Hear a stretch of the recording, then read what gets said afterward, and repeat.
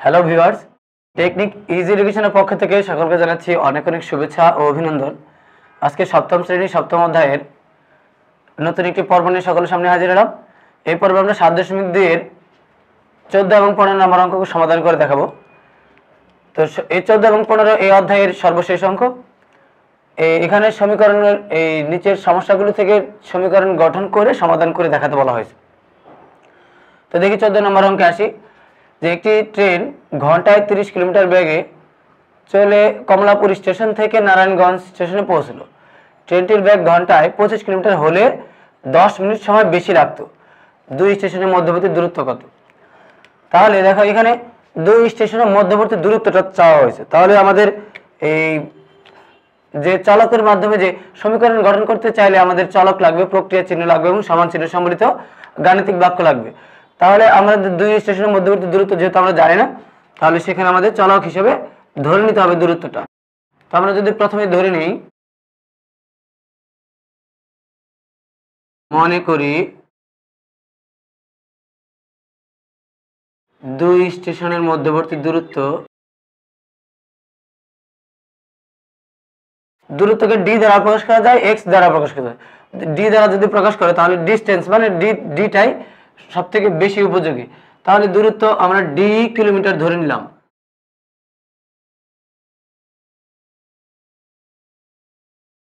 এবার, দেখো, ট্রেন ঘন্টায় দশ কিলোমিটার বেগে চলে নারায়ণগঞ্জ, কমলাপুর থেকে নারায়ণগঞ্জ স্টেশন পৌঁছলো। তার মানে কিলোমিটার, যদি আমরা এই কিলোমিটার দূরত্ব দিয়ে যদি আমরা দূরত্বকে যদি আমরা এই সময় দিয়ে যত কিলোমিটার বেগে চলতেছে, সেই সময় দিয়ে যদি ভাগ করি, তাহলে কতটুকু সময় লাগে সেটা বের করা যাবে। যে কিলোমিটার দিয়ে এই দূরত্বকে যদি ভাগ করি, এই কিলোমিটার দিয়ে যদি আমরা এই এই কিলোমিটারকে ভাগ করি, তাহলে কত সময় লাগে সেটা আমরা বের করতে পারব।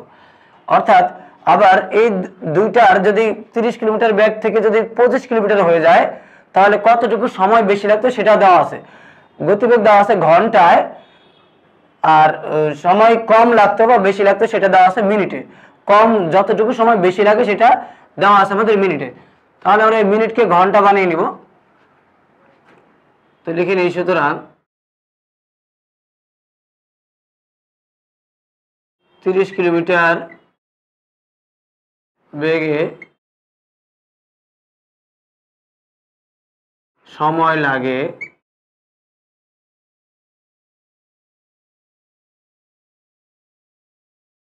ডি বাই থার্টি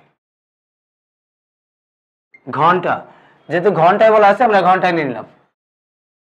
আবার এই তিরিশ কিলোমিটার গতিবেগ থেকে যদি আমরা কমিয়ে নিয়ে আসি, পঁচিশ কিলোমিটার নিয়ে আসি। পঁচিশ কিলোমিটার, তাহলে এটা থেকে কিছু সময় আমাদের বেশি লাগবে। যেমন, এবং পঁচিশ কিলোমিটার বেগে সময় লাগে ডি বাই টোয়েন্টি ফাইভ ঘণ্টা। এখন দেখো সময়টা আমরা ঘন্টায় নিয়ে নিয়েছি, আর যতটুকু সময় বেশি লাগে সেটা দেওয়া আছে মিনিটে। তাহলে আমরা লিখতে পারি, আমরা জানি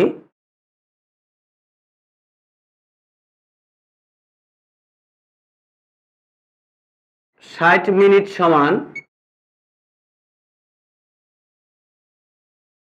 এক ঘণ্টা। সুতরাং এক দিয়ে মান বের করা যায়, আবার দশ সরাসরি লিখেও করা যায়। তো তোমরা এভাবে ঐকিক নিয়মে করতে পারো, ষাট মিনিট সমান এক ঘণ্টা, সুতরাং এক মিনিট সমান, এই এক বাই ষাট ঘণ্টা, আর দশ মিনিট সমান দশ, উপরে দশ যাবে, নিচে ষাট যাবে। তাহলে আমি সরাসরি দশ দিয়ে বের করে নিলাম, সুতরাং দশ মিনিট সমান দশ বাই ষাট, যদি কাটাকাটি করি, বা এক বাই ছয় ঘণ্টা। এই সময়গুলো আমরা ঘন্টায় নিয়েছি, তাই এই মিনিটটাকে আমরা ঘন্টায় নিয়ে আসলাম।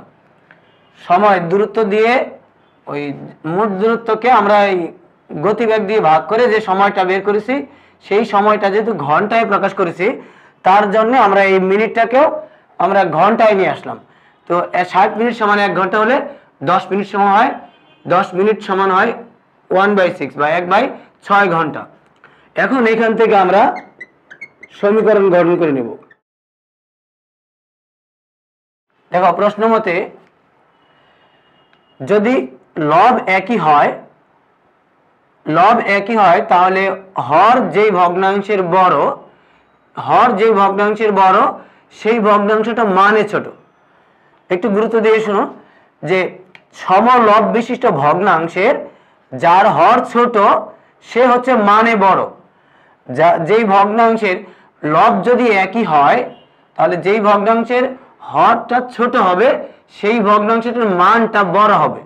অর্থাৎ এই পঁচিশ কিলোমিটার বেগে যদি চলে, তাহলে তার সময় লাগে, যত সময় লাগে, সেই সময়টা তিরিশ কিলোমিটার বেগে যে চলে, সেই সময়ের থেকে বেশি লাগে, বেশি। তার মানে এই D by twenty five D by থার্টিনের থেকে বেশি বা বড় মান। তাহলে আমার বিয়োগ করতে হবে, বলছে দুই স্টেশনের মধ্যবর্তী দূরত্ব মানে সবাই বেশি লাগে। বেশি বের করতে চাইলে আমরা বিয়োগ করে বের করি। তাহলে D by twenty five minus D by thirty equal হচ্ছে কতটুকু সময় বেশি লাগে? এই দশ মিনিট। যেহেতু এটা ঘণ্টা এবং এটা দিয়ে ঘণ্টা বের করছি, এই ভগ্নাংশ দুটির সময়টা হচ্ছে ঘণ্টা। ঘন্টায় প্রকাশ করা, তাই আমরা মিনিটটাকে ঘন্টায় নিয়ে আসছি। ওয়ান বাই সিক্স দেখো আবার একটু খেয়াল করে শোনো যে সমলব বিশিষ্ট ভগ্নাংশের। উপরটাকে বলা হয় লব। তাহলে ডি হচ্ছে লব ডি হচ্ছে লব। সমান সমান সমান লব। তাহলে সমান লব বিশিষ্ট ভগ্নাংশের যেটার হর ছোট, সেটা হলো মানে বড়। তার মানে এই সময়টা বেশি। এটা যদি ষাট মিনিট হয় বা এটা যদি সত্তর মিনিট হয়, তাহলে এটা এই সত্তরের থেকে এটা কম। কতটুকু কম? বিয়োগ করলে মানটা বের হয় যে এই দশ মিনিট। মিনিট হচ্ছে দশ। দশকে আমরা ঘন্টায় নিয়ে আসছি। কারণ এই সময়গুলো আমরা ঘন্টায় নিয়েছিলাম। এবার যদি আমরা লসাউ করি তাহলে দেখো, তিরিশ এবং পঁচিশের লসাগু হচ্ছে একশো পঞ্চাশ। তিরিশ এবং পঁচিশের লসাগু হচ্ছে একশো পঞ্চাশ। পঁচিশ দ্বারা যদি আমরা এই একশো পঞ্চাশকে ভাগ করি, এখন লসাগুকে হর দ্বারা ভাগ, যে ভাগ ফল হবে তাকে দিয়ে এই লবকে গুণ। তাহলে পঁচিশ দ্বারা আমরা একশো পঞ্চাশকে ভাগ করলে ফলাফল আসে হচ্ছে ছয়। ছয় দ্বারা যদি ডিকে গুণ করি, তাহলে হবে সিক্স ডি মাইনাস ত্রিশ দ্বারা যদি এই হর দ্বারা যদি লসাগু ভাগ করি, হর হচ্ছে ত্রিশ ত্রিশ দ্বারা একশো পঞ্চাশকে ভাগ করলে হবে পাঁচ পাঁচ দ্বারা যদি আমরা ডি কে গুণ করি তাহলে হবে ফাইভ ডি ইকুয়াল হচ্ছে ওয়ান বাই সিক্স এবার পাঁচ ছয়টা ডি থেকে যদি পাঁচটা ডি বিয়োগ করি, তাহলে থাকবে আমাদের একটা ডি নিচে হচ্ছে একশো পঞ্চাশ ওয়ান বাই সিক্স এবার আমরা যদি আর গুণন করি আর গুণন কাকে বলে? সমান চিহ্নের এক পাশের লব, অপর পাশের হর। এক পাশের হর, অপর পাশের লব।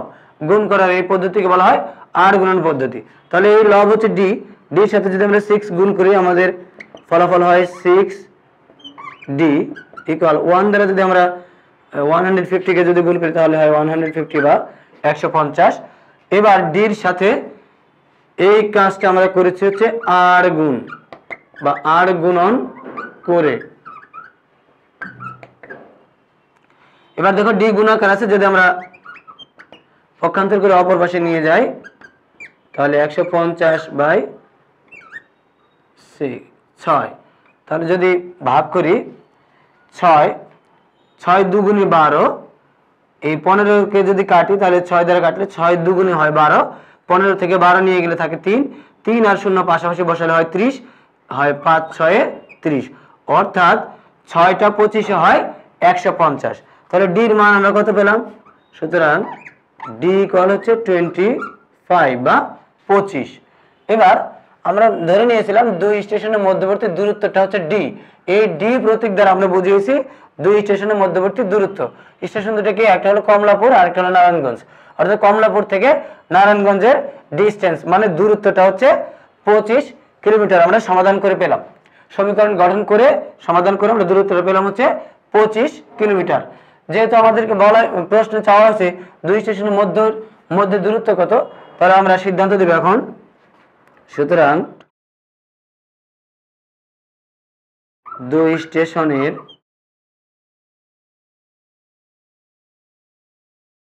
মধ্যে দূরত্ব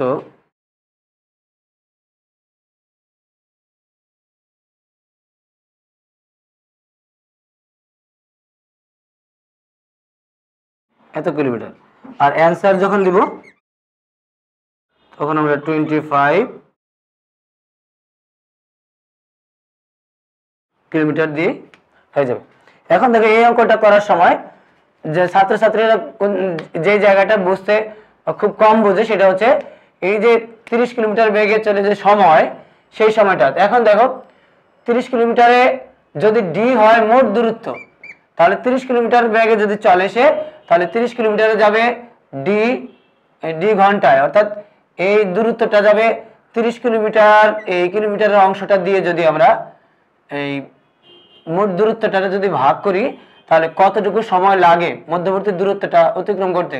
কত ঘণ্টা সময় লাগে সেই ঘন্টাটা পাওয়া যায়। এবং পঁচিশ কিলোমিটার দূরত্ব ব্যাগে চলে যদি আমরা ডি কিলোমিটার দূরত্ব অতিক্রম তাহলে তার কত সময় লাগে? সেটা ডি বাই ওই কিলোমিটার দিয়ে ভাগ করলে এই দূরত্বটাকে কিলোমিটার যত কিলোমিটার ব্যাগে চলে, তত দ্বারা ভাগ করলে সময়টা পাওয়া যাবে। আর এই দুই সময়ের পার্থক্য হচ্ছে আমার দশ মিনিট। সেই দশ মিনিটকে আমরা ঘন্টায় নিয়ে আসছি। ঘন্টায় কীভাবে বের করছি? ষাট মিনিট সমান এক ঘণ্টা, সুতরাং এক মিনিট সমান কত ঘণ্টা? দশ মিনিট সমান কত ঘণ্টা? ওই ক্রমে একটা লাইন বাড়ানো যায়? আমি দুই লাইনই করে দিয়েছি। তো আশা করি এই অঙ্কটা তোমরা বুঝতে, এই অঙ্কটা তোমরা খুব সহজে বুঝতে পারলে। এবার আসে আমরা পনেরো নম্বর অঙ্ক সমাধানে যাব। তো এবার দেখো পনেরো নম্বর অঙ্কটা। পনেরো নম্বর অঙ্কে বলা হয়েছে, একটি আয়তাকার জমির দৈর্ঘ্য প্রস্থের তিন গুণ এবং জমিটির পরিসীমা হচ্ছে চল্লিশ মিটার। জমিটির দৈর্ঘ্য প্রস্থ নির্ণয় করো। এবার দেখো এখানে জমিটির দৈর্ঘ্য প্রস্থের তিন গুণ বলা আছে। তার মানে দৈর্ঘ্যটা আমার ইনডাইরেক্ট দেওয়া আছে। যদি প্রস্থ জানা থাকে, তবে দৈর্ঘ্য দেওয়া আছে। যদি প্রস্থ জানা না থাকে, তাহলে কিন্তু দৈর্ঘ্য প্রস্থ কোনোটাই জানা নেই। যদি আমার প্রস্থটা জানা থাকে যে প্রস্থের তিন গুণ, দৈর্ঘ্য হবে প্রস্থের তিন গুণ। প্রস্থটা কোনোভাবে চলক হিসেবে আমরা জেনে গেলে তখন আমার দৈর্ঘ্য আলটিমেট আমরা বের করতে পারব। তো কথা না বাড়িয়ে দেখো আমরা অঙ্কে আসি। যে মনে করি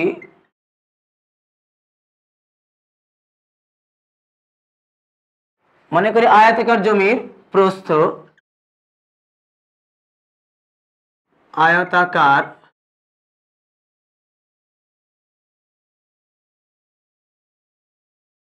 জমির প্রস্থ এক্স মিটার।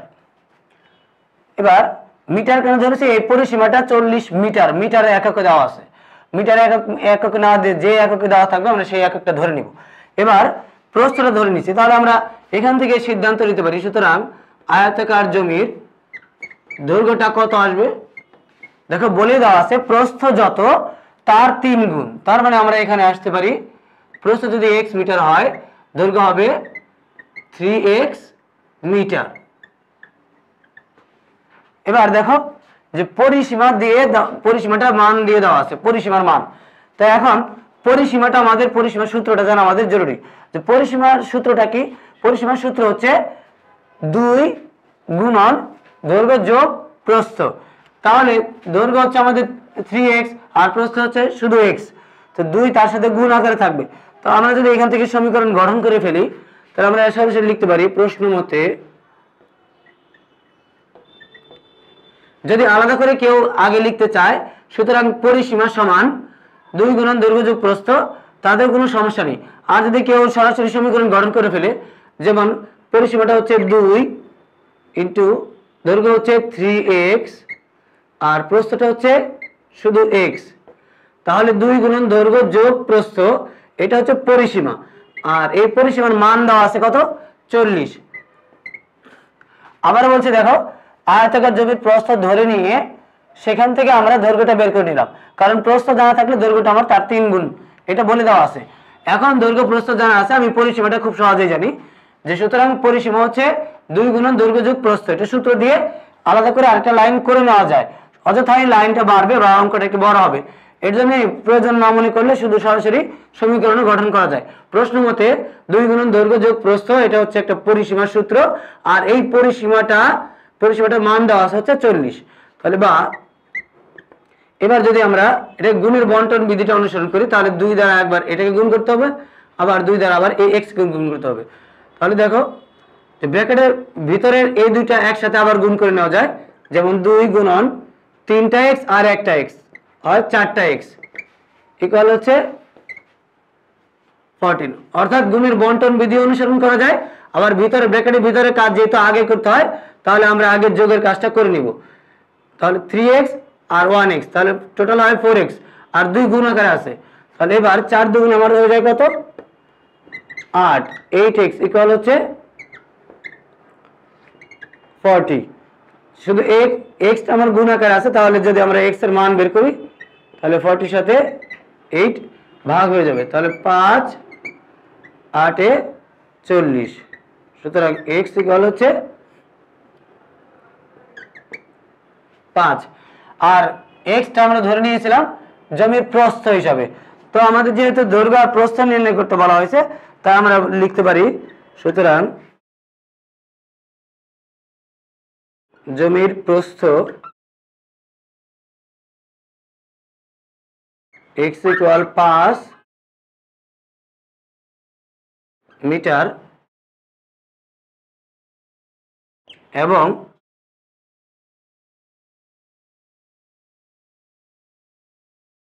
জমির দৈর্ঘ্য থ্রি এক্স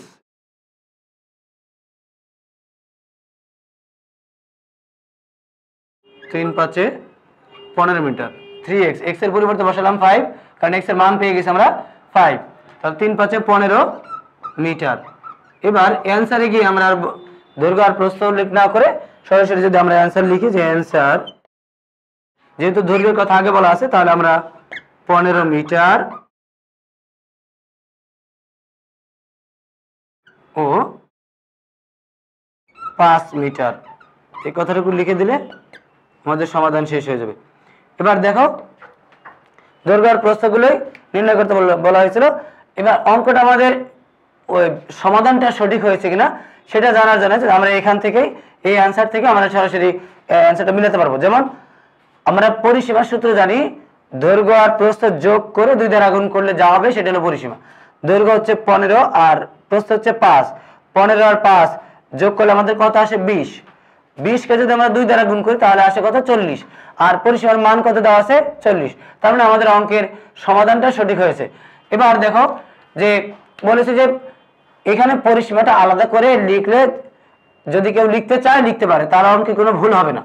আর সরাসরি যদি কেউ সমীকরণটা গঠন করে ফেলে, যে প্রশ্ন মতে এই দৈর্ঘ্য প্রস্থ যোগ করে দুই দ্বারা গুণ করলে এটা হয় পরিসীমা, আর এই পরিসীমার মান দেওয়া আছে কত? এই যে চল্লিশ দেওয়া আছে। তাহলে এই পরিসীমা সমান হচ্ছে চল্লিশ। এবার ব্র্যাকেটের ভিতরে কাজ যেহেতু আগে, তাই আমরা থ্রি এক্স আর এক্স যোগ করে ফোর এক্স পেয়েছি। ফোর এক্স তার সাথে দুই গুণ আকার আছে। তাহলে total eight x eight eight x এবং এইট এক্স করার পর আমরা চল্লিশকে এক্সের সাথে এইট গুণ আকার আছে, আমরা পক্ষান্তর করলে ভাগ হয়ে যাবে। এই ভাগ দিয়ে এখন কাটাকাটি করলে পাঁচ আটে হয় চল্লিশ, অর্থাৎ এক্সের মান আছে পাঁচ। এবার এক্স কে ধরে নিয়েছিলাম আমরা প্রস্থ, তাহলে প্রস্থ আসে পাঁচ, আর দৈর্ঘ্য হচ্ছে প্রস্থের তিন গুণ। এই পাঁচকে যদি আমরা তিন দ্বারা গুণ করি, তাহলে আমরা পেয়ে যাই দৈর্ঘ্য তাহলে দৈর্ঘ্য প্রায় পনেরো মিটার, আর প্রস্থ হলো পাঁচ মিটার। তো আমাদের যেহেতু উত্তরের মধ্যে বলে দেওয়া আছে দৈর্ঘ্য প্রস্থ নির্ণয় করে, তাহলে দৈর্ঘ্যটা আগে লিখতে হবে, প্রস্থটা পরে। তাহলে আমরা অ্যান্সার লিখেছি অ্যান্সার পনেরো মিটার, অর্থাৎ এটা হচ্ছে দৈর্ঘ্য আর পাঁচ মিটার এটা হচ্ছে প্রস্থ। আশা করি এই পর্ব থেকে তোমরা চোদ্দ এবং পনেরো নম্বর এই অঙ্ক দুটির সমাধান খুব সহজেই বুঝতে পারলে। এতক্ষণ আমাদের সাথে থাকার জন্য তোমাদের সবাইকে ধন্যবাদ।